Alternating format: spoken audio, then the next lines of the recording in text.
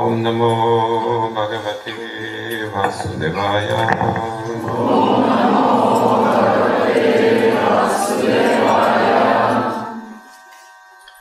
ॐ नमो भगवते वासुदेवाय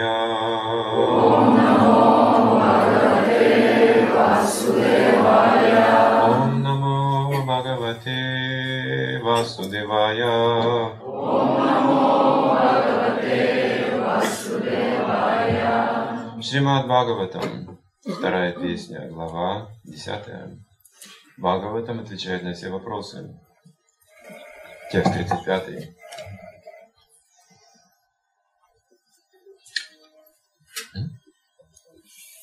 Я попытаюсь прочитать курсив. Амуни Бхагават Рупе Майяте Янувар Ните Упе Апина Грихнанти Майя Сриштеви Пашчита Амуни все эти Бхагават Верховной Личности Бога. Рупи в формах. Майя мной те? Тебе? Хи? Несомненно. Ануварните? Соответственно описаны. Убхе обе. Апи? Также. На? Нет. Грихнанти? Принимает Майя? Внешние? Сришты так проявленные. Випачита. Образованный человек. Следующий в этом. Перевод текста. Чисты преданные Господа в совершенстве постигшие Его. Не признают ни одной из этих форм Господа, которые я только что описал тебе с материальной точки зрения. Таков текст. Такова философия Чинтя Педа Педа Татвы. Все связано с Господом. Нет ничего, кроме Бога. Да. В то же время Он отличается от всего. Особое положение. Такого положения нет. В мирах не существует. Не на нем аналогов. На нем лишь какие-то искаженные отражения Ишвары. Во всех мирах это отражается в каждом живом существе. Положение Ишвары. Но это не настоящее положение живого существа. По сути, это искусственный, искусственный стиль жизни. Поэтому нет аналогов. Мы не видим с вами здесь Ишуру в его естественной природе. В материальном мире нет такого. Так же, как видеть какие-то искаженные отражения. Не напоминают оригинал. И все же они отражают точно, не соответствуют действительности. Более того, отражение оригинал вообще не, несовместимы. Отражение всего лишь иллюзия. Хотя и напоминает оригинал, но всего лишь иллюзия, она практически не существует. Существует оригинал. И так, говорится, изначально оригинал Ишвара. Ишвара – повелитель, верховный. Это Кришна. Ишвара, Парама Кришна, указывается в ведах. И постигается этот предмет высшего повелителя через иерархию земную или вселенскую. Как освободиться от невежества? Если мы скажем человеку, ты не это тело, ты не мужчина, не женщина, не русский, не американец, прочее, прочее, у тебя нет здесь никаких материальных обязанностей, что он будет делать, не знаю. Собьем его с толку просто. И перед этим сбивается с толку такими формулами. А что, что делать теперь? Кто я? Если я не тело, я же не знаю, кто я, что я должен делать. Поэтому избавляется от невежества при помощи невежества. Ты кшатри, Кришна говорит Арджуне. Какой ты кшатри? Ты душа, кто говорил только что. Но при этом, ну как ты освобождение? Как душу освободить? Да, ты не сможешь одолеть материальную природу просто внешне, уйдя, бросив свои обязанности. Ты попадешь в еще худшее положение, викарвы. Ты несешь ответственность за неисполнение долга тогда. Получишь наказание за это, ты не освободишься. Как ты пытаешься уйти от проблем? как с поля боя бегут воины и говорят, почему бежите? Ритрасура спрашивает. Почему бежите, демоны? Великие герои, почему вы в страхе бежите? Когда начнут тут перебьют, мы сейчас тут умрем. А куда вы бежите, в какое место? Где нет смерти, спрашивает Ритрасура. В какое место вы бежите? Где нет смерти, покажите мне. И они остановились, они слушали, но они страха не могли понять, о чем он вообще говорит. для Ишвары не может быть смерти. Иначе какой же он Ишвара? Какой же он повелитель? Если он завтра умрет.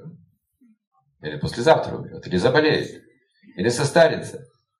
Или зависит постоянно от денег, от пищи, от жилья, от окружающих. Какой же он Ишвара?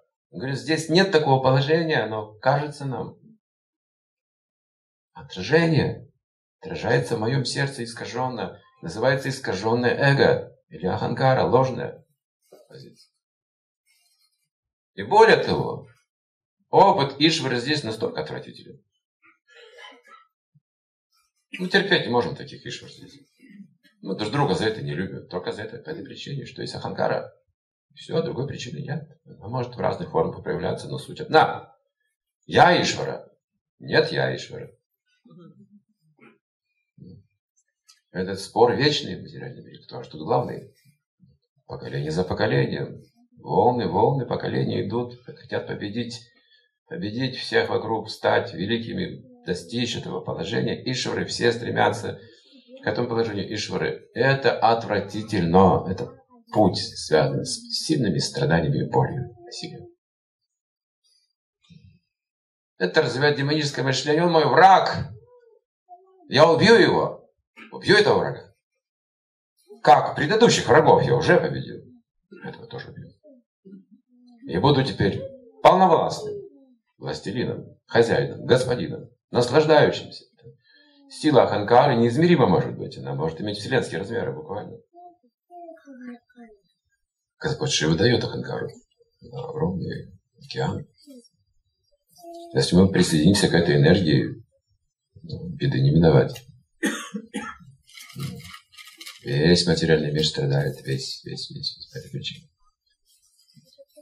Но стоит нам увидеть настоящего Ишвару, как все наши иллюзии рассеиваются, приносят огромную радость освобождения. Так вот, какой настоящий Ишвара. Он все благой должен быть. Одного взгляда достаточно его, чтобы вы освободились всех страданий, вот это Ишвара. Одного его желания достаточно, чтобы все ваши желания исполнились. Но если претендуете на его место, будет несовместимость. Несовместимость характеров. Характеры не сошлись с Богом. Живем с Богом, конечно, но характерами не сошлись. У нас конфликт. У всех у нас конфликт, мы все мотари Ростове-на-Дону. Донские казаки. Лихие парни все. Да и женщины тоже лихие. Тоже донские казаки, так все, все знают их, их характер.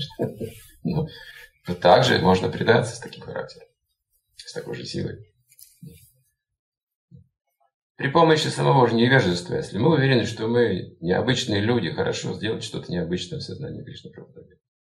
Будет хорошо. Потому что все благое.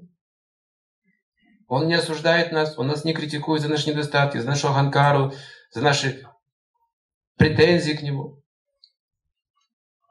Не критикует. Он остается к нам всегда расположен во благо. В любом случае. В любой форме жизни. Он абсолютно беспристрастен, зависть у него нет. И быть не может.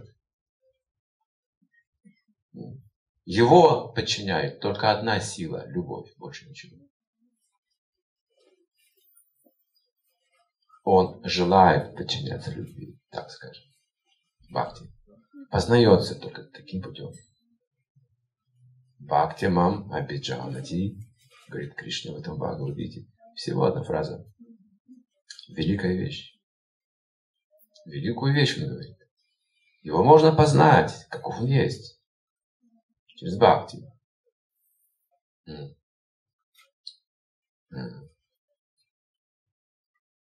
Приманджана Чарита Бхакти Вилочаньяна.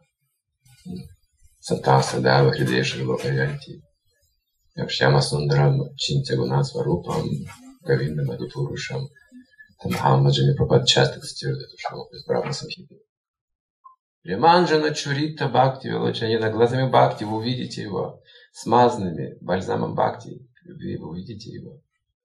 Его истинную форму. Этого достаточно, чтобы освободились от всех прошлых грехов от всех страданий. Вот это Ишма. Одного вида его достаточно. Одного слова достаточно, которое проникает в сердце. Но не насильно. Он не совершает насилие никогда. Бхакти, любовь, имеет только добровольное начало. Есть много остановок на пути Бхакти. Ехали в поезд, там много остановок. Но мы вышли только в Ростове-на-Дону. Хотя были другие станции не хуже. Если мы привлекли с другими станциями, здесь просто не было. Одна из станций на пути Бхакти – это обида, называется. Русские железные дороги написаны. Кровная обида. Этой станции ноги выходят. И поезд идет дальше. Искон за это время может измениться уже много-много раз. А он на станции обиды остался. Человек, он живет в прошлом. Такие случаи есть тоже. Добрая воля, наверное, самое трудное. Самое трудное – добровольно предаться Кришне. Из страданий несложно. Из болезней тоже нетрудно обратиться к Богу. В конце концов, нужда заставит, да, меня. Это нетрудно сделать. Под давлением обстоятельств. Немножко благочестия, веры, пойдет к человеку, к Богу, да. Говорит, Боже, спаси меня, спаси мою жизнь, моих близких людей. Я не могу терпеть эти страдания больше. Помилуй меня, помилуй мои грехи. Он искренне молится, плачет, получает прощение забывает про Бога. Теперь все нормально у меня. Мне достает знаний. Кто же такой Бог? Неужели вы пойдете к богатому человеку, несусветно богатому человеку, записавшись на прием, ожидая полгода, просить килограмм риса на воскресный пир? Неужели вы до такого понимаете? Если вы обращаетесь к Богу, должны что-то найти самое ценное. В прошлом когда-то великие мудрецы, такие как Атримуни и другие, они проводили годы, годы, десятки лет, десятки лет, и даже сотни лет в аскезах. Великие, великие риши. И когда Господь являлся, они говорили, что же ты хочешь за твои аскезы? Что желаешь? Как правило, великие преданные говорили, я хочу иметь сына, равного тебе, такого же. Если вы привяжетесь к Кришне как к сыну, естественно легко. Никакой саданы. Никаких усилий. Вы, естественно, любите своих детей. Он говорит, вот если такой сын родится у меня, я достигну совершенства. Равный тебе. Господь говорит, ну, таких нет. Поэтому я сам приду к тебе, сыну. Вот что имели в виду великие мудрецы. Это описано в Бхагаватам. Те, кто приближались к Богу, они думали о том только, чтобы быть привязанным к Нему навечно. Подобно такой, как мать привязана к сыну, отец к детям тоже. Есть такая привязанность в материальном мире. Временная, обманчивая привязанность. И мы ищем этого счастья здесь, ищем этого счастья отчаянно, ищем счастье в материальном мире. Хорошо ведь, когда есть хорошая семья, хорошие дети, достаточное обеспечение. И тогда я могу практиковать сознание Кришны, кажется, хорошо. Не ошибайтесь так, пожалуйста. Это уже не сознание Кришны. Вы ставите условия. Приманджина, Чарита, Бхакти, Вилачанина. Но только глазами любви вы видите Бога. Кришна, я буду тебе служить. Немножко денег добавь, все будет хорошо. Это избавит меня от беспокойств. Это, говорит, иллюзия. Любовь не ставит условий.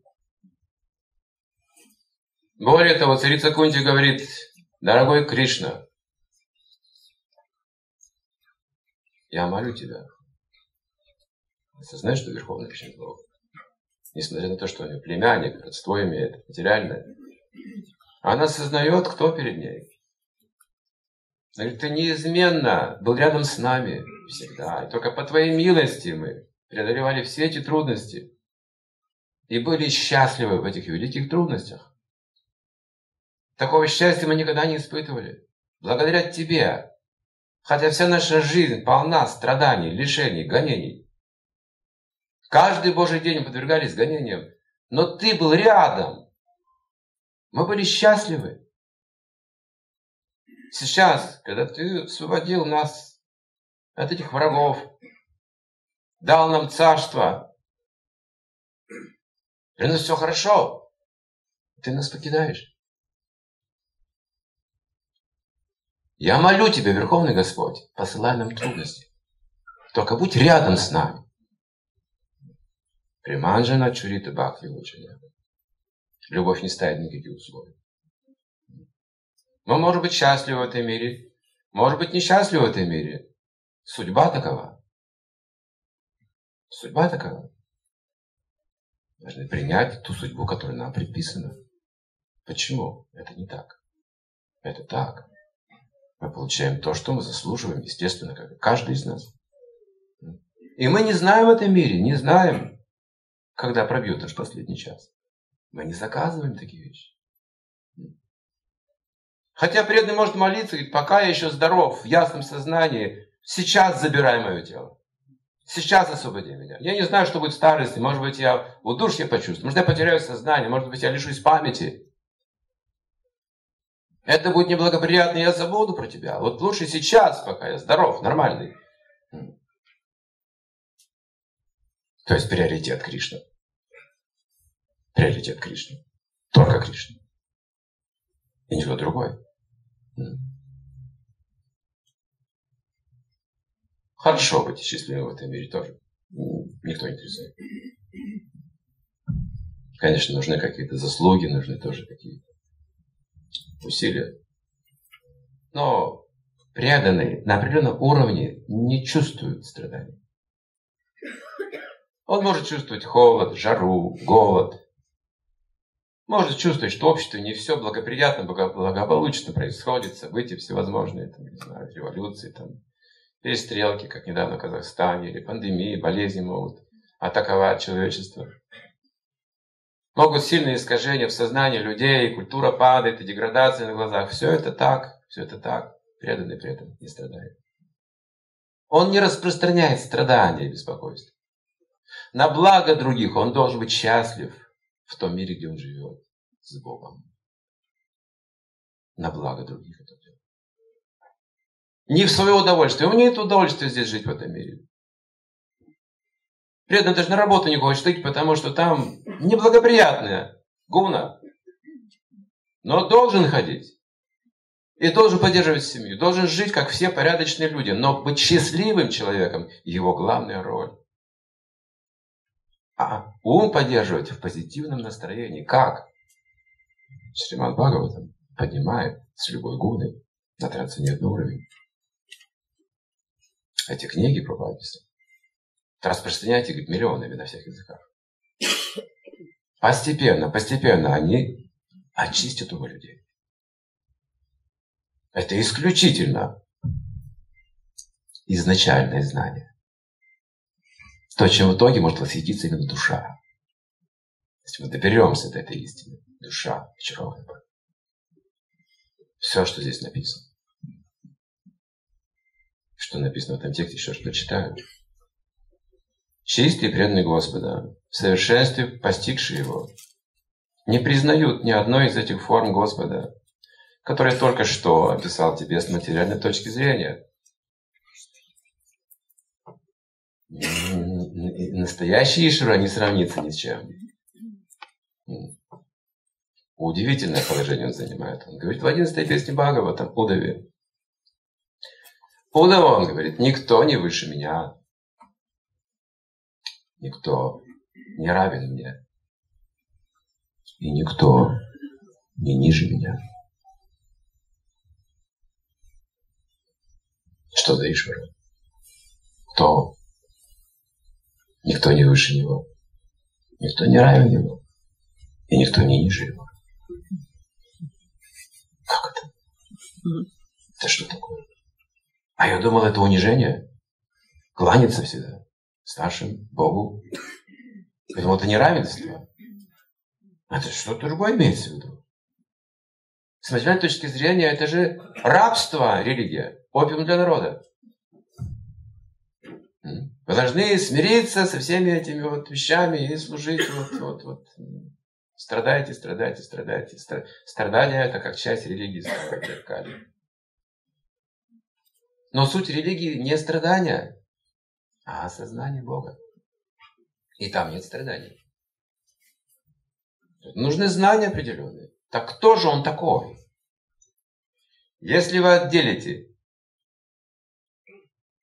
предмет от его сути, вы постигнете первый, ну, первую ипостась Бога. Вот вещества вокруг и предметы. Есть газообразные, есть прочные вещества, есть жидкие вещества. Изучаем, как ученые изучаем мир, классифицируем эти вещества. Запутались. Столько много всего. Если вы сможете отделить предмет или вещество от его сути, вы сделаете первый шаг к познанию Бога. Перестанете видеть разнообразие этого мира и сразу успокоитесь. Вы споткнулись о камень, пошли дальше. Просто камень. Вы споткнулись о кусок золота, сделайте то же самое. Просто какой-то кусок материала пойдете дальше. Если вы отделите суть от предмета и вещества, вы успокоитесь. У вас не будет золотой лихорадки. Вы не будете видеть разнообразие в этом мире. Скажете, все, есть сад, вечность. Все существует. Так вы постигнете суть от предмета. Суть любого предмета – сад существования немножко медитации, немножко размышления, почитайте книги, и вы сможете в какой-то момент в уме осознать это, а хотя бы на какую-то секунду, на полсекунды, достаточно. Этого опыта достаточно по жизни. Не нужно постоянно ходить на сознание, не обязательно. Можете ходить на работу, можете делать все, но секунды достаточно этого. Увидеть, что такое браман. Ваша вера, вера очень укрепится, и вы поймете еще одну вещь неожиданную вещь, что я не это тело, я тоже сад. Я существующее существо. Вот в том моя суть. Я не предмет, который может измениться. Заржаветь, распад может быть, раствориться, расчлениться, сгореть дотла. Я не предмет, Предмет сгорает, сад, энергия остается нетронутой.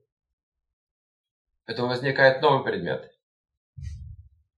Человек умирает, возникает новый человек.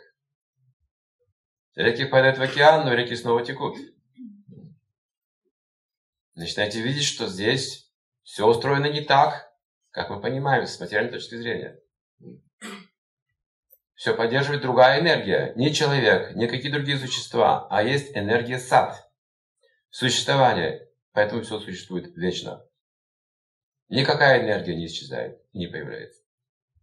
это лишь трансформация одной и той же энергии. И вы понимаете, что я не часть трансформации, а часть сад вечности. Но когда вы видите, что в этом сад есть разнообразие, и понимаете, откуда это разнообразие форм, предметов, веществ, ведь ни один материалист не знает, откуда причина этого разнообразия материи. Не объяснено.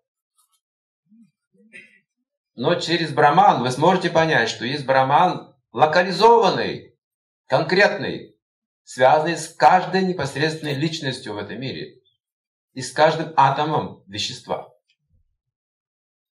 Сверх душа, сверхсознание. Открываете для себя.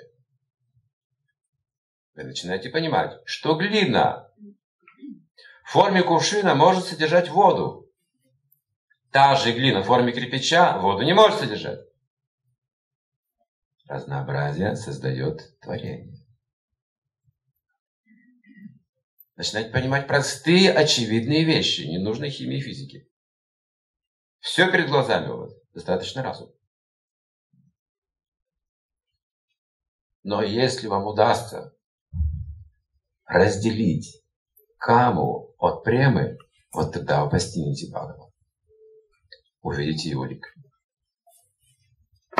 Преманджана Чурита Бхакти Вилочаняна. Глазами любви вы увидите его личность. Настоящего Ишвару, Всеблагого. Который даже когда убивает, приносит величайшее благо.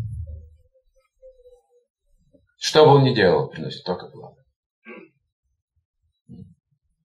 Никакой кармы. Если кому-то посчастливится умереть вдруг Богу, Хишма это продемонстрировал. Он осознавал Бхагаван. Он был брамачари всю жизнь. Он не, не подчинялся Каме никогда. Он подчинялся только Дхарме. Но это великая личность, Махаджан. Он настолько был предан Дхарме, что было неважно, на стороне врагов или друзей он воюет. Он исполнял в полную силу свой долг, раз это долг. А любил он-то пандавов, как бы своих врагов формально. Кришна.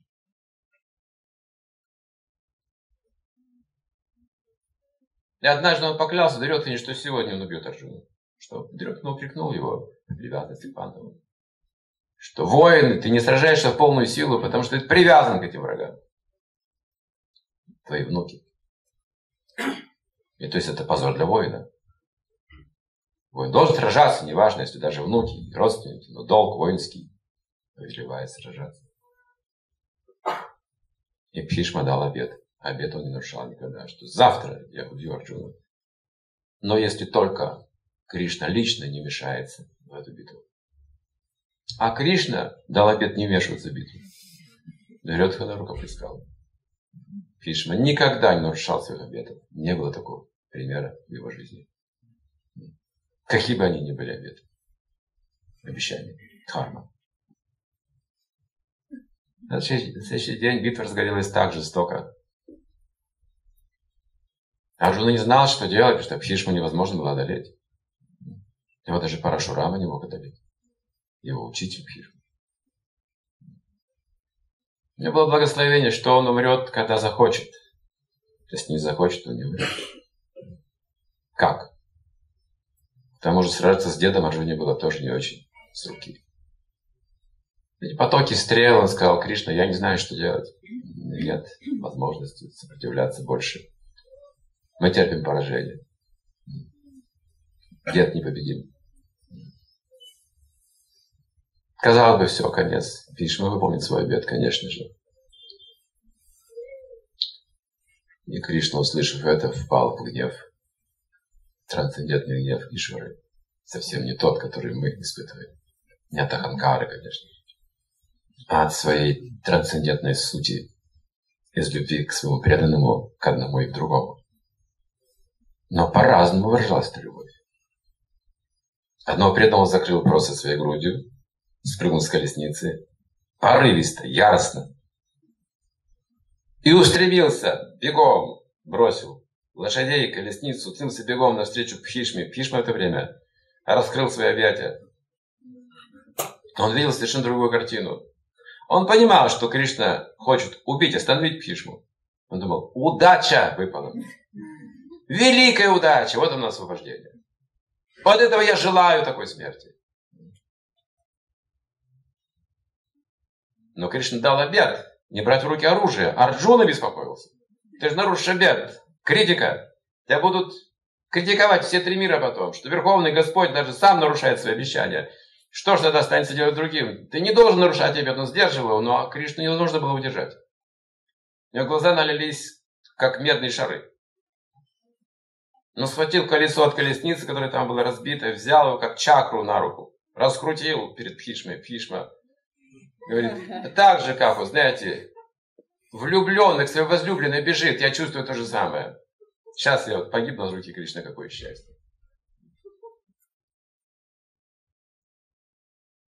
Он должен был уже убить Пхишму, во время зазвучали раковины, которые подвестили, потому что битва на сегодня закончена. Хари Кришна.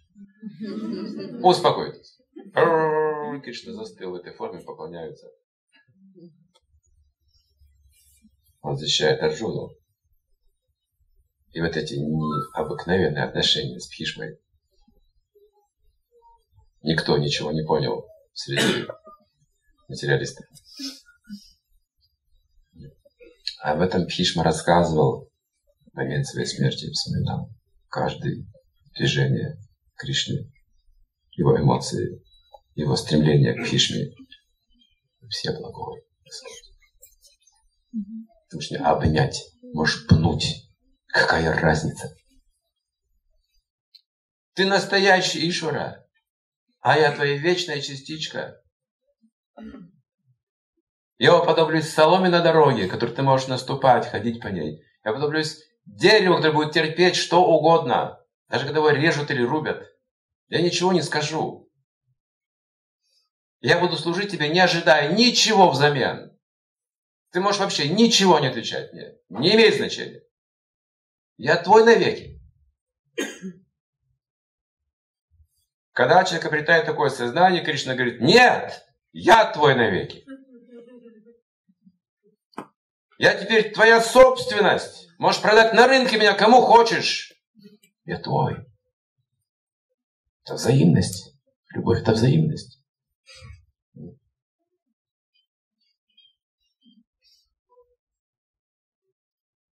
Почитаем комментарий. Имперсоналисты представляют себе абсолютную личность Бога в одной из двух упомянутых выше форм. С одной стороны, они поклоняются Вишварупе, все, все проникающей вселенской форме Господа, а с другой размышляют о его непроявленной, не поддающейся описанию тонкой форме. Этим двум концепциям Всевышнего грубой и тонкой, соответствует теории пантеизма и манизма. То есть пантеизм, когда человек считает весь материальный мир а, проявлением Бога, видит Бога таким образом, через материальную природу, пантеизм, как Франциск Осийский видел это. Это тоже сознание Кришны, по сути. Но не прямое, косвенное. Пантеизм можно так видеть, как видят ну, жители Дальнего Востока, тоже через атрибуты природы они чувствуют присутствие Бога. Пантеизм. И манизм – это тонкая, невидимая форма. Моно – все едино. То, о чем мы говорили, сад реализует его аспект вечности и сливаются с ним. Это манизм. Эти две формы воображаемы, говорится воображает. Однако чистые преданные Господа отвергают обе эти концепции, поскольку им известно истинное положение вещей. Об этом недвусмысленно говорится в 11 главе Бхагавадгиты, где описано Вишварупа, Верховного Господа Шри Кришны, которую он явил Арджуне. То есть эта форма, которая описана здесь, во второй песне Шримад Бхагаватам, Вишварупа. грубые элементы, это стопы Господа, и более тонкие, там живот это океаны, и в конце концов до тонких энергий все описывается. То есть все гармонично сложено.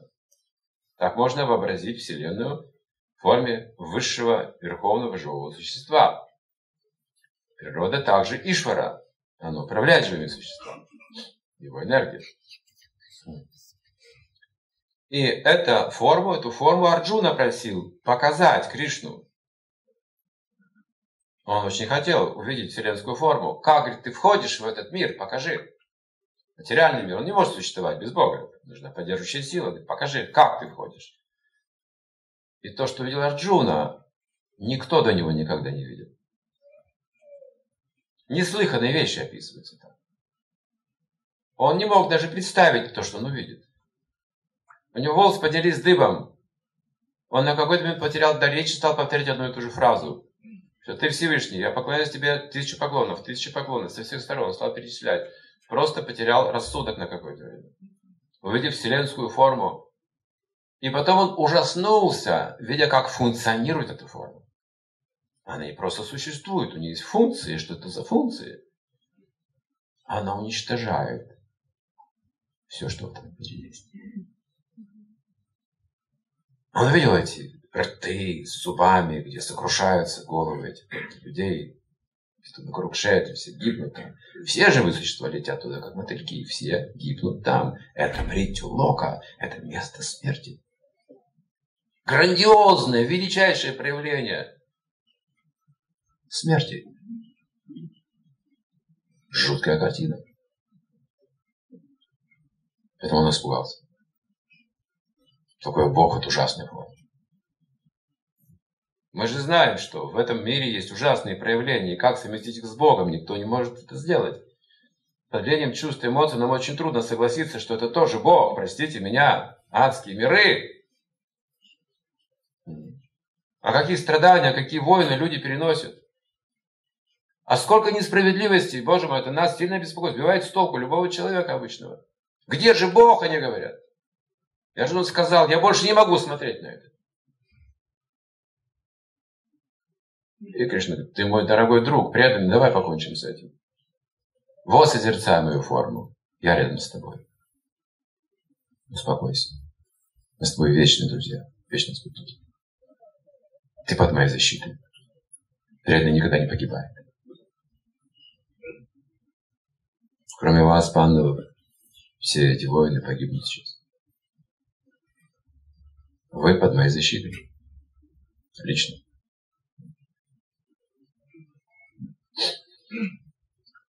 Адришта пурвам ришитосми дриштва паянача праваятхитам маноме тат эва ме даршая дева рупам Сида Девиша Джаган Ниваса. Бхагавадгита 11.45.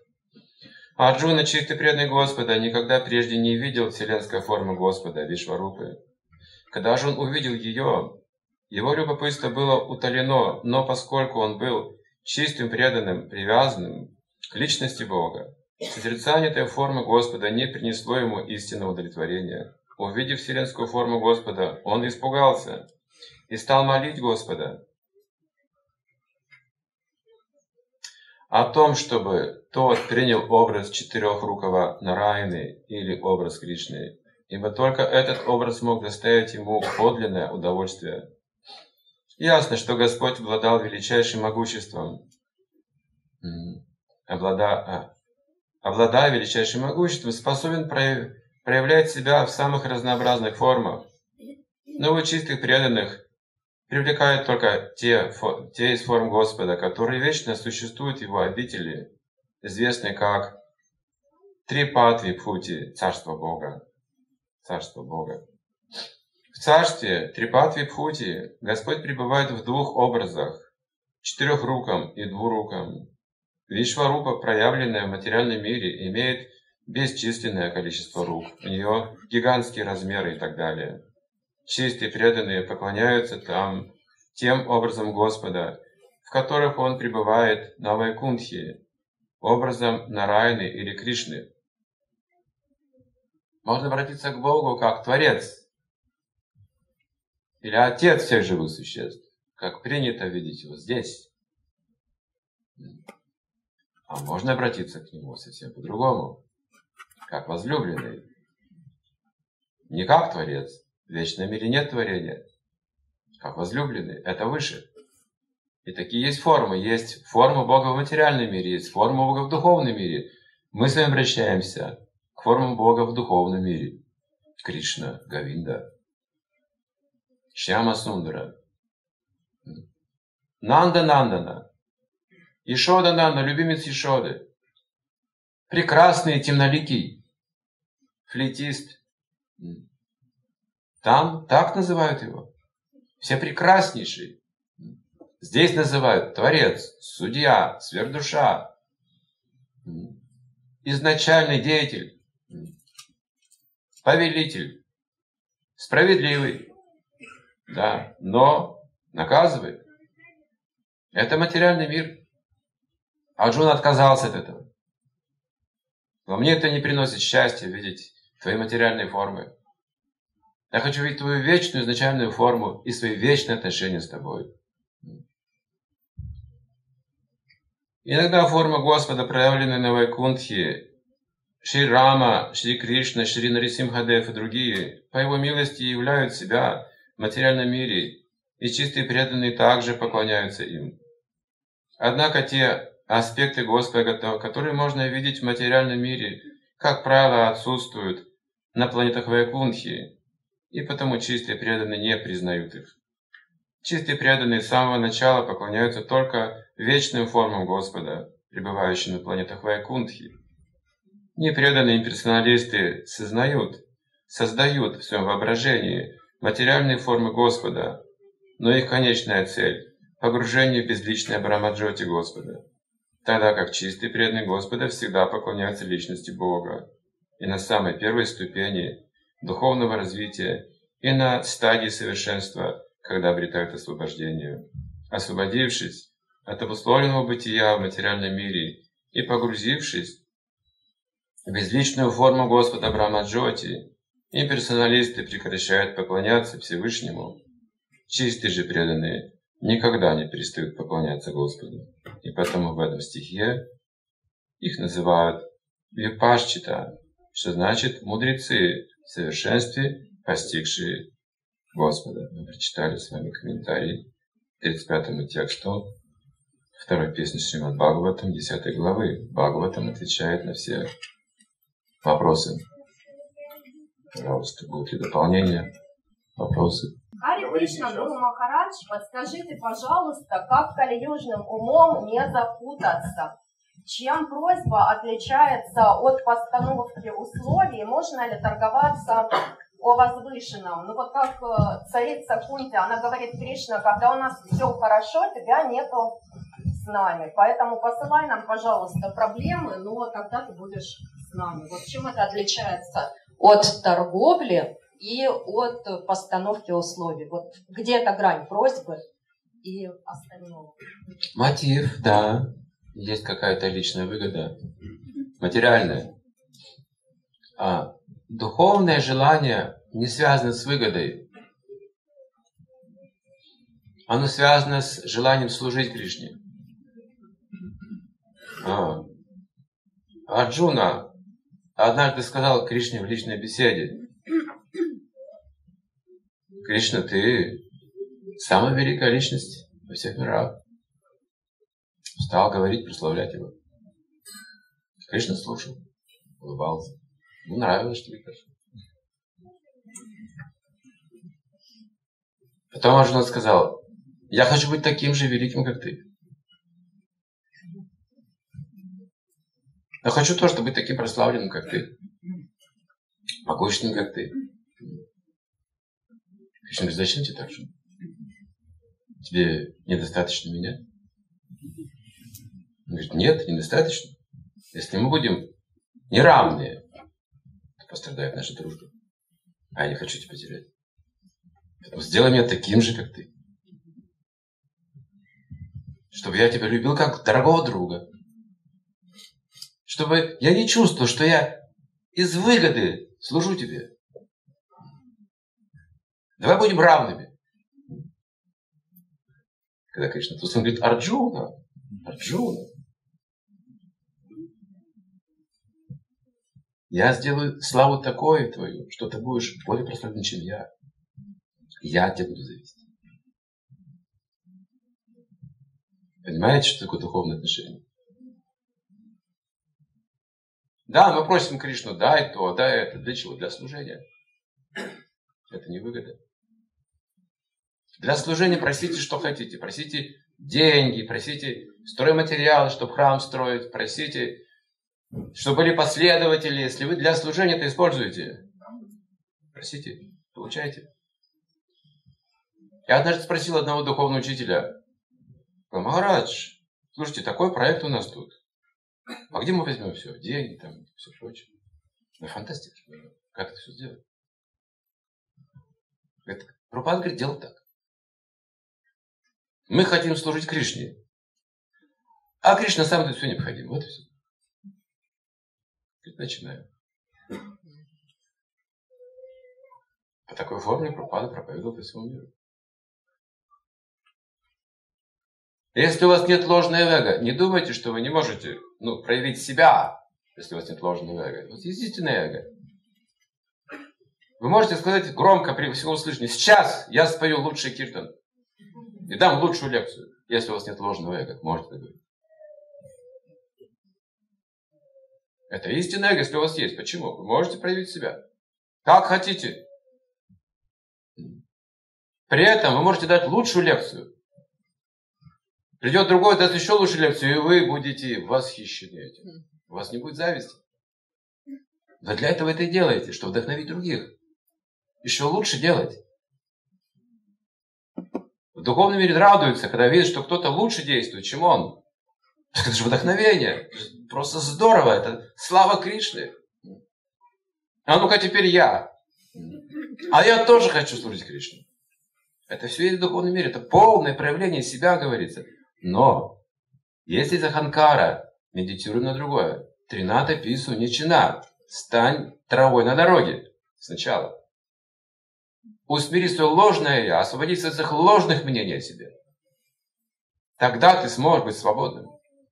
А Джуна свободен. Может, Кришна так говорит.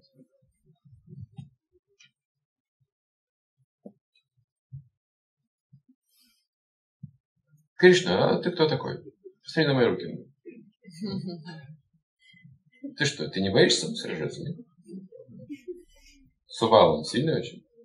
Наделен такой силой. Друг Кришна. Он гордится этой силой, это его гордость. Его духовная гордость. Даже перед Кришной.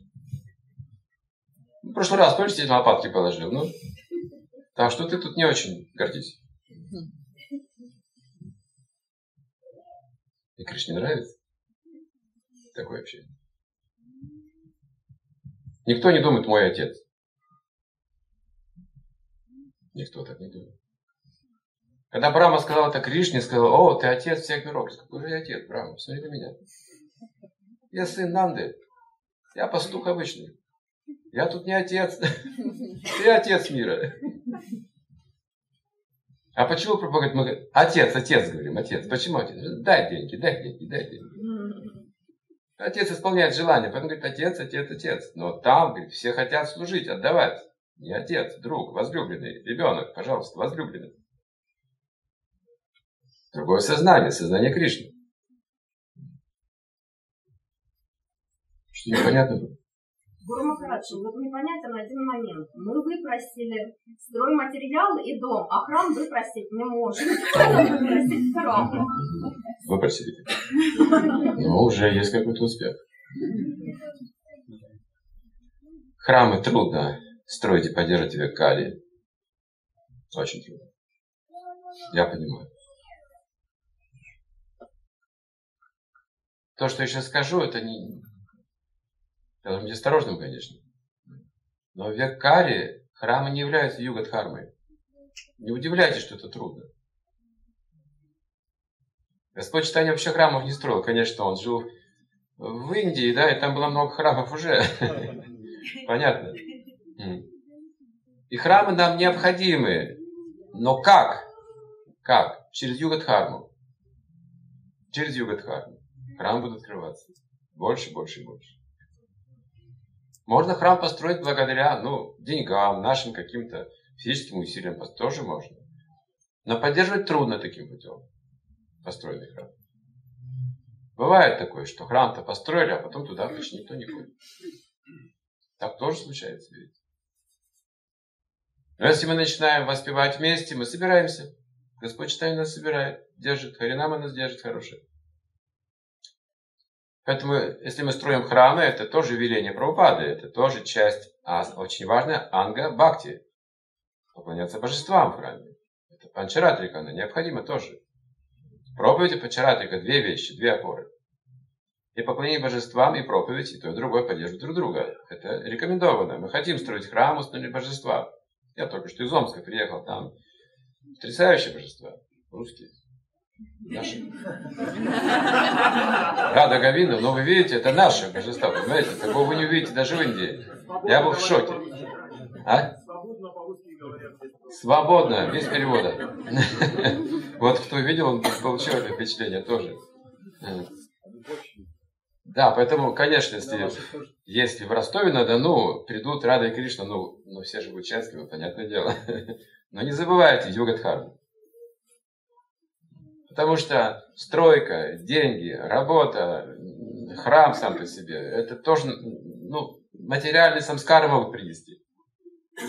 Векари могут принести материальные самскары. Бастан Сарасвати, помните, сказал, давайте весь мрамор снимем со всех этих храмов, продадим, будем печатать книги и проповедовать по всему миру. Вот, не забывайте главную вещь. И вы что построите храм. Кришна сам сам это сделает, поможет, даст все необходимое. Почему нет? Ну, столько народу. Какие проблемы? Проблемы только в разногласиях. Здесь такие есть преданные, опытные. Если взять небольшую группу из вас, вы уже этой группой сделаете все. Если никто не будет мешать. Вы это сделаете, пять человек, три человека можете все сделать. Храм построить. Но поскольку у вас есть трение внутри, это трудно становится. Значит, забыли о главном, Югадхарма. Какие трения? Воспевайте Хари Кришна, танцуйте в экстазе. Хари Кришна, дорогой Гуру Махарат, пожалуйста, мои поклоны. Огромная благодарность вам за то, что вы посетили нас, за то, что делитесь своей мудростью, за то, что в этот нелегкий момент для вас вы все-таки с нами. Вот, огромная благодарность. И вот я хочу, чтобы вы разъяснили, как действует процесс, да, вот процесс распространения книг, да. Э, вот если не инициированный, преданный распространяет, да, распространяет на самом деле же Кришна и Гуру, вот. А если не инициированный, преданный, вот, как он предается-то Кришне и Гуру? Нужно предаваться Гуру, да, через Гуру проявляется Кришна.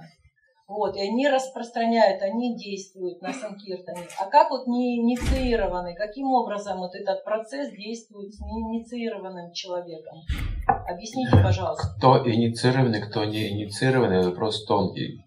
Конечно, есть формальная картина, по которой можем судить формально. То есть человек прошел обряд посвящения, дал обеты, получил духовное имя. Вот с этого момента мы считаем формально, что он инициирован. Но это формальная сторона. Она тоже важна, конечно, но не главная. Что такое инициация, мы сможем понять через какое-то время практики. Это целый процесс. Не так, что вы сразу инициированы и все. Погодите, вы еще не обрели качество духовное, еще не обрели достаточное знание и веры, ваша не твердая. Вы только начали этот путь с формального посвящения. Только начали этот путь. И еще неизвестно, дойдете вы до конца или вы оставите этот процесс. И тогда будет понятно, кто инициирован, кто еще не инициирован. Инициированный никогда не оставит этот путь.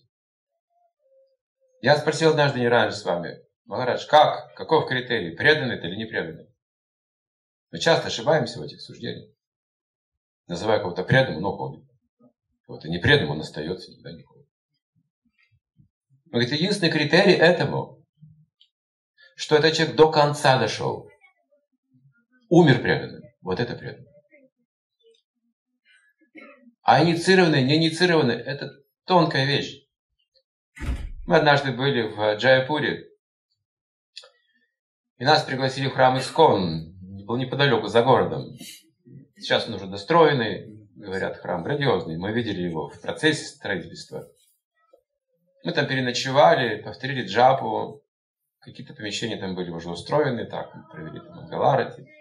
Ученики Прабхупады там были тоже, которые вот эту конструкцию строили, служили там. И мы дали пожертвования, чтобы храм строился. Сколько у нас там было, дали крупную сумму. И тогда президент храма сказал, я вам кое-что покажу. Раз вы так отнеслись к нашему храму, я покажу то, что никому не показываю. Я вам покажу специальную комнату, где сейчас делают произведение искусств для этого храма. Красоту. А мы еще художники, знаете. И он показал нам эту комнату. Я был удивлен, какой там порядок, какая чистота. Там делались витражи для этого храма. Огромные витражи цветного стекла, с какими-то технологиями современными. Кто-то делал, один человек делал это все. Американец. Я смотрю, старик, дряхлый. За 70 лет ему уже. Он даже не обратил внимания, кто там пришел, кто вышел. Он просто делает это все, там эти эскизы вижу, красивейшие там. Работа у него, один все делает. И он так увлечен. Я говорю, кто это? Это ведь преданный Прабхупады. Он не успел получить инициацию. Он хочет вот умереть в этом служении. Вот это инициация, вот это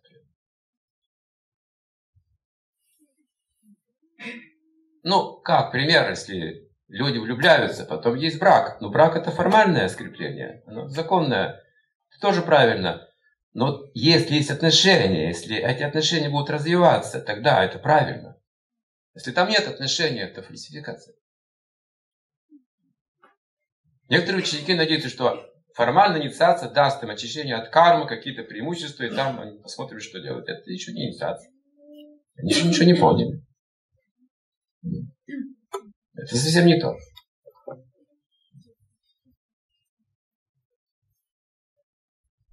Мы принимаем гуру для того, чтобы служить Кришне. Теперь мы слуги. Вот что такое инициация. служить миссии, служить Господу читанию, служить всем живым существам в итоге. На благо всех мы должны действовать. Мы не должны теперь ради себя жить.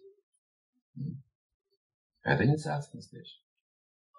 И шаг за шагом мы осваиваем вот эти принципы инициации, принципы предания, духовному учителю предания Кришне. Можно спотыкаться, Иногда можем падать, но наша обязанность двигаться вперед или ползком, как угодно, двигаться. Это инициация. Иначе это не имеет большой силы. Нет. Более того, Господь читание, читание, читание говорит, что Хари Кришна Махамантру можно повторять без инициации. Если вы чувствуете, что распространение книг это ваша суть, причем тут вообще инициация даже? Инициация сама к вам придет. Потому что вы уже служите Кришне. Вот что важно. Она сама будет стучаться к вам в дверь. Можно, Хари Кришна, ну буквально. Можно по вчерашней лекции? Первый вопрос. Вот вы сказали, что оскорбления, они, если проходят как бы глубоко, да, проникают уже в разум. Как понять, вот, как отличить, что это оскорбление или какое-то сомнение, оно проникло именно в разум, то есть оно не в уме? Да, да, да. В чем да. разница, как это чувствуется? Это так же, как человек э, ранен, вы будете чувствовать боль. Это значит проникла в разум. Критика. Здесь, когда ум критикует его естественное положение, все оценит, что-то критиковать. Но вы можете заниматься преданным служением, чувствовать счастье при этом, отвлекаться от этих вещей, отстраняться через преданное служение. Мантру повторили, на киртан сходили, пир при, приняли, и вы чувствуете, что все хорошо снова. И практикуете это с верой, и всегда поддержите свой позитивный дух. Все. такую чистоту можете поддерживать. Хотя ум склонен. Если ваша садана слабеет, вы видите, что в уме начинается двойственность проникать. Но если эта двойственность проникает в разум, вы чувствуете ранение. Начинаете сомневаться в правопаде, в книгах. В садане. Вы перестаете читать книги, перестаете внимательно джапы повторять, не дочитываете круги. Значит, ваш разум травмирован. Тонкое тело. То есть на уровне ума мысли еще не так. Но если проникает глубже, это будет трудно. Подобно уже болезни или травме. Если даже, если вы сломали ногу, если вы ее вылечили, на погоду все равно потом ноет, понимаете? Эта травма остается у вас. Напоминает вам об этих вещах. Поэтому Господь читание говорит, что умственные спекуляции, это двойственность хуже смерти для преданных. Почему преданные не боятся критики? Я не знаю, когда это началось вообще. В наше время преданные боялись критиковать. Они понимали, это аппарат, они были очень осторожны в этом плане. Даже когда вы сняли отношения, были очень осторожны в этом плане. Обсуждали, как это делать мягче, как это сделать с уважением. То есть, понимаете, это, это было. Старые преданные помнят это все. Но что происходит сегодня, вот, или вчера, я не знаю, ну, почему преданные перестали бояться таких вещей опасных? А потом только видите, мантра не дочитана, книги не читаются, депрессия, ничего не хочу делать. Почему Гуру Махарадж? Все было раньше хорошо, я чувствовал Кришну. Где сейчас он? Избегайте аппарат, пожалуйста. Избегайте этой критики. Это не наш путь. Если хотите вкус к святому имени сохранить, избегайте, избегайте этих вещей. Не общайтесь близко со сплетниками тоже. Станьте чистым преданным. И вы спасете миллионы людей. Майя действует только через ум. Вся иллюзия там находится, в уме.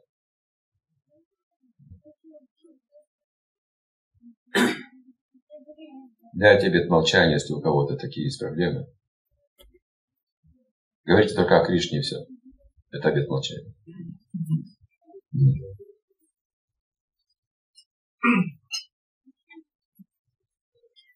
Второй вопрос еще у меня был а, по поводу того, что, по поводу того, что а, вот эти спады, колебания, да, как бы это нормально, но у меня вот такой вопрос, как все-таки можем ли мы закрепиться вот в благости, потому что, ну, как бы, все равно нас шатает от благости к невежеству, к невежеству и хочется, конечно, прийти к какой-то стабильности.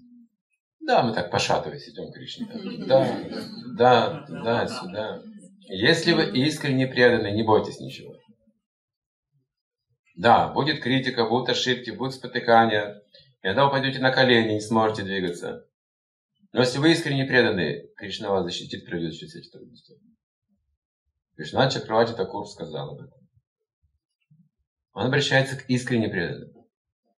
Можете ошибаться, но в сердце вы хотите именно Кришну, преданно служить, ничто другое. Можете ошибаться, попасть под влияние, что-то услышать, что-то сказать, ошибку совершить. Но если ваша цель Кришна, преданное служение, закройте глаза, он говорит, и бегите во весь опор, вы даже не споткнетесь на этом пути. Кришна лично вас проведет. Мы не говорим, что вы не сделаете ошибок. Вы сделаете все ошибки, приобретете весь необходимый опыт.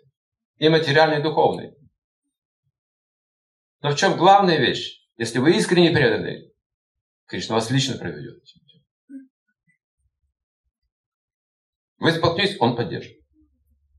Будете падать, он вам не даст упасть. Он вас поднимет. Вы даже не коснетесь. Вы сразу одумаетесь, вы сразу извлекаете уроки. Вы сразу принимаете меры к своему уму. Потому что вы искренний человек. Не бывает людей, которые не ошибаются. Не существует такого. Все ошибаются. На всех уровнях. Пропада себе говорит, я несовершенный. Что нам говорить? Но как же нам продвигаться? Вот Ачарья говорят, вы должны хотеть чисто служения. Вот и все. Но если вы хотите здесь справедливость в этом мире установить и забываете про главное, вы упадете. Вы не встанете больше. Вы упадете в этот мир и будете его вечно, эту справедливость искать здесь, и не найдете ее. Ее здесь нет. Здесь есть карма просто. Просто слепой, жуткий закон. Что посеешь, что пожнешь. Все. И никакого прощения здесь не будет от материальной природы. Пока не предадимся Кришне. И Кришна скажет, стоп, машина, ты свободен. Кто это может сказать? Материальная природа не простит. Браман не услышит. Личность Бога.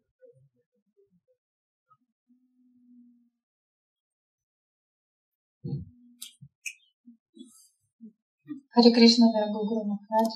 Скажите, пожалуйста, вот если любовь к Богу, она выше всего, выше Дхармы, Бишмадев, он обладал а, любовью к Богу, да, он любил Бандавов, любил Кришну. Почему он был так привязан к Дхарме? Это был его путь. А все должны следовать своей дхарме, конечно же. Почему он привязан к дхарме? Дхарма, потому что это тоже ипостась Кришны. В этом была его роль. Если бы не было такого примера, как Хишмадев, мы бы много потеряли.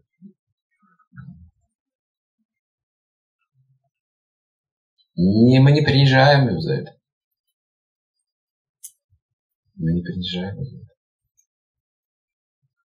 Он остается великим Махаджаном, один из двенадцати во Вселенной. Мы следуем его примеру, наоборот. Обещаете, делайте. Хишма будет.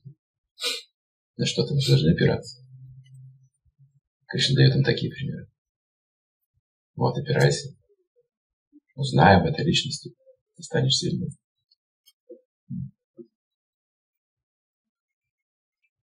Он Махаджан, но он не является Богом. Чистый преданный не является Богом. Он остается преданным, зависимым от Кришны. Даже Адвайтачарья молился Всевышнему и говорит, приходи сам, я не знаю, что делать. В этом мире люди не привлекаются бхакти. Они равнодушные. Они строят какие-то логические доводы, соревнуются в знании ради престижа. Никого не интересует чисто преданное служение. Приходи сам, Всевышний.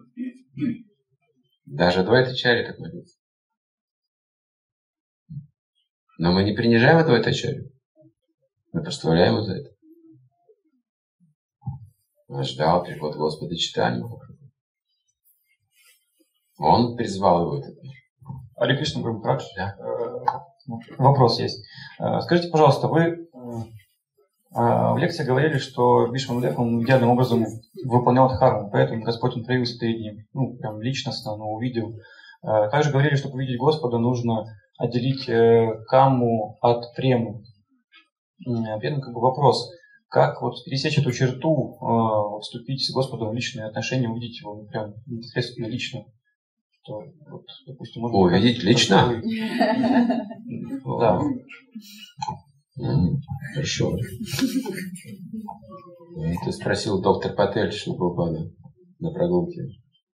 А можно увидеть Кришну, вот как вы его с флейт описываете, вот, рассказываете? Можно так увидеть Кришну? Как? Он говорит, Прабхупада говорит, Кришну с флейтой 10 миллионов жизней прожить надо. Нет. 10 миллионов жизней нужно прожить в практике. Шокировал доктора Пателя. Он сказал, почему вы хотите увидеть его с флейтой, изначальную форму? Почему вы так хотите? Почему не хотите увидеть, как он себя в Бхагавадгите описывает? Давайте начнем с этого. Говорит, вкус воды. Пьете воду. Почему не видите Кришну? Если вы не видите во вкусе воды Кришну, как вы увидите его с флейтой? И там он описывает, как увидеть его в этом мире. В Бхагавадгите все описано. Так давайте это практиковать. Смотрите на Кришну. Здесь он. Через вкус воды, через способности людей вы увидите Кришну. Через иерархию этого мира увидите Кришну тоже. Там описывается. Солнце вы увидите, вы увидите Кришну. Луну увидите, тоже увидите Кришну. Это все описывается в шастрах. Вот этот взгляд. И тогда, потом у нас есть шанс, по милости Господа читания, услышать флейту его. И испытать эту сильную разлуку с личностью Бога. Считайте, что вы достигли Кришны таким путем. Даже не видя его. Глазами.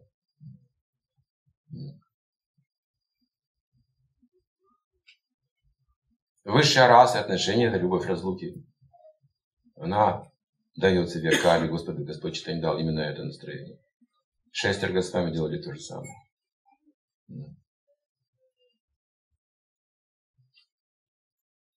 И с другой стороны, самое милостивое проявление Кришны в этом мире – Арча Виграха. Вы поклоняетесь божествам, вы строите храм, установите божества, вы увидите Кришну таким путем. У всех преданных есть такой опыт, иначе бы вы не спрашивали, можно поклоняться божествам? Я хочу поклоняться божествам. Все хотят поклоняться божествам. Я помню это событие, когда Панчитатва в Майпуре установлена была. Сколько уже лет назад. Это был особый год, конечно, все было объявлено всему миру, было много преданных со всего мира.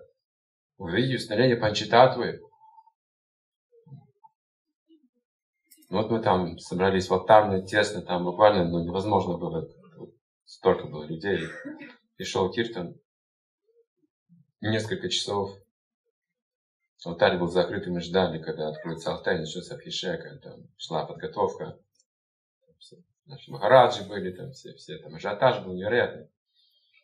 Видео, аудио, все включено было, и все ждали этого момента, вот этого первого момента, когда вот распахнется алтарь, мы видим Панчитатву.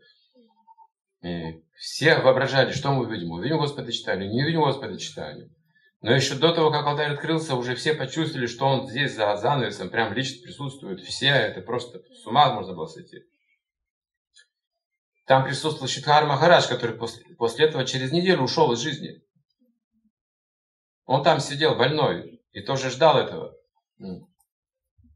И потом, когда алтарь распахнулся, толпа взревела просто. Это было что-то такое, знаете, спонтанное просто взревела, потому что Господь читание как будто живой. Ну все, вся панчитата живая была открылась. Это было установление.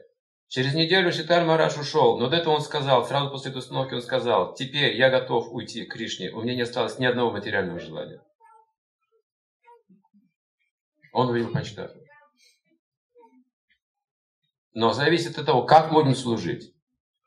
Бхагаватам говорит, если вы служите божествам, хорошо, а с преданными вы ругаетесь, вы не увидите Бога. Зачем мы служим божествам? Чтобы это божество пошло в сердце, а затем увидим, что оно в сердцах и других тоже. Вот смысл поклонения в этом. Обрести сознание Кришны, увидеть его. Для этого строятся храмы, не для престижа.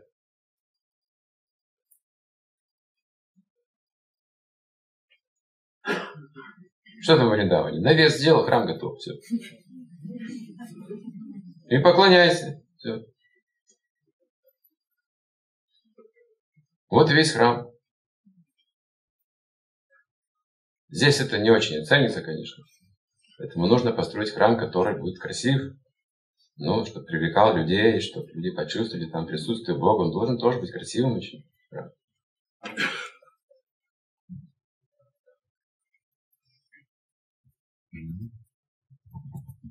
Спасибо за лекцию, Гуру Махарадж. У меня такой вопрос. А, в последнее время мучает меня. А, если Харинама Санкиртана Яги – это наша юга Дхарма, то почему многие преданные сейчас ну, могут заниматься другими делами, а, служением каким-то. Ну, просто я знаю лично преданных, которые говорят, мне не нравится Киртан и ну, вообще не участвуют никак в этом. И эта тенденция сейчас очень сильно распространяется. И, в общем, у меня такой вопрос, а, почему это происходит и что делать?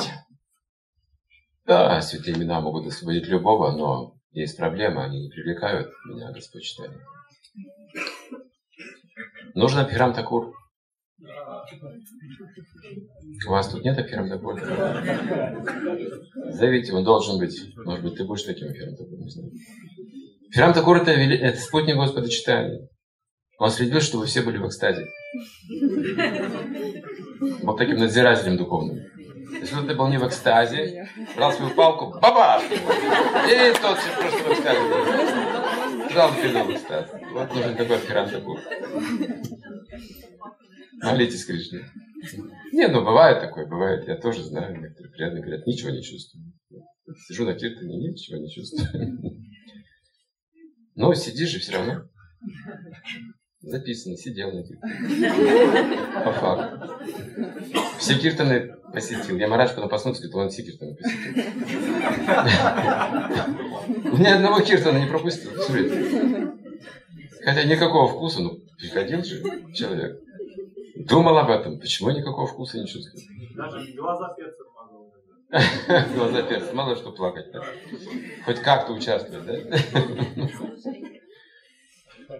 Вот. Берешь пистолет. Ты спрашиваешь, просто спокойно говоришь, на Киртон пойдешь? Конечно, пойду. В чем проблема? Я просто спокойно сказали, я уже и так собирался. Больше э, шуток надо.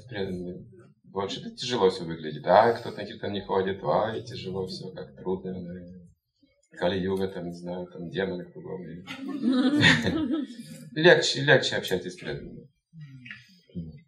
Шутите. На киртан, на киртане, на просад главное придешь, все будет хорошо. Или даже на дом тебе просад принести могу. М? Шутите с преданными. Это же преданные. Конечно, ну, вкус киртана, да, это тяжкий труд бывает. Обрести вкус киртана, это бывает, нужно пройти тяжелый труд. Практику. Не сам по себе киртан, а киртан, он притягивает Кришну и Господа читанию. Вот в чем, что такое киртан. И когда Господь читание, ну как-то присутствует в киртане, тогда мы чувствуем его. По милости Господа читания можем чувствовать. Сами мы не можем чувствовать, киртан может быть. Это может быть, ну, редко. Кто обладает таким вкусом киртана, настоящим. Например, если нет красивого голоса, кто будет слушать? Мало кто будет слушать. Но тот, кто поет, обычно слушает себя хорошо. Он, может быть, единственный, кто будет слушать. Это было в Майяпуре, когда один ученик Пропады стал петь киртан там на улице где-то. Пропада сидел у себя в Салминахишне, там занят с учениками. И тот пел в микрофон, киртан. Все думали, как же его остановить? Так поет, что все думали, ну когда же это все закончится?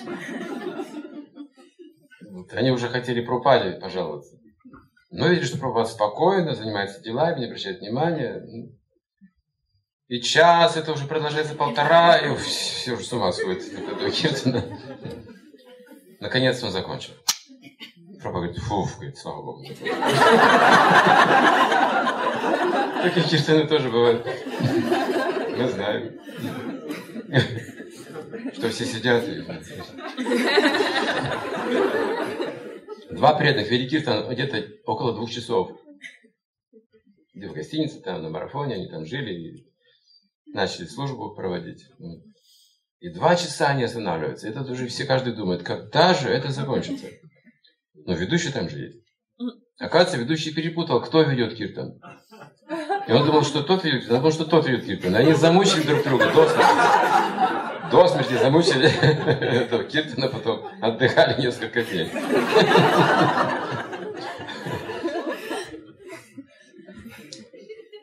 Это не то, что Аидра запоет, и сразу начинаете танцевать. Сразу, все, все, все. Кришна проявляется сразу.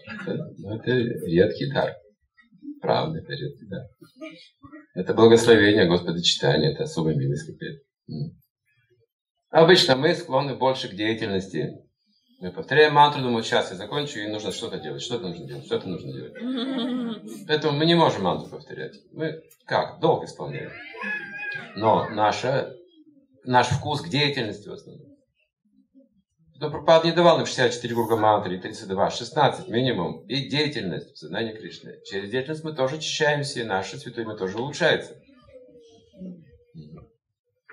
Я знаю много преданных, которые очень хорошо служат Кришне, но мантру повторять не очень склонны. Трудно им. Но они преданы, они много делают для Кришны. Рано или поздно Кришна даст на вкус. То есть это такое редкое явление. Или называется особое полномочия. Даже саньяси иногда трудно перспективу который посвящается только воспеванию, все. Ничего же не делает. Даже у них есть свои тоже трудности, как вы думаете. Так просто. Так, воспевать, чтобы Кришна был доволен. Если мы понимаем, что публика была довольна, это не киртан. Не совсем киртан. Но приятное времяпровождение. Хорошо тоже. Музыка красивая. Ведическое все. Иногда Кришна есть. Но так как Господь читание в доме Шива Сангам сразу не видели Вриндаван, видели Игорь Кришны в Киртане. Они не замечали, как ночь проходит вообще. Вообще не замечали Но уже утро, боже мой, как же быстро. Господь читание давал такой дар. Но нам нужно следовать Шри Прабхупаде. У нас есть миссия, есть долг, есть вот искон, развиваем движение, есть Варнаша Мадхарма, у нас много чего, детские программы, школы, семейные, греха с Хашем тоже хотим сделать хорошим, у нас много есть задач, полезных для всего мира, и тоже это по милости Господа читания можем осуществить и получить этот вкус, приблизиться к Богу, удовлетворить Его. Если пропаду будет доволен, почему нет? Хорошо, мы тут остановимся. Спасибо большое всем, что Прабхупада Ки Джай.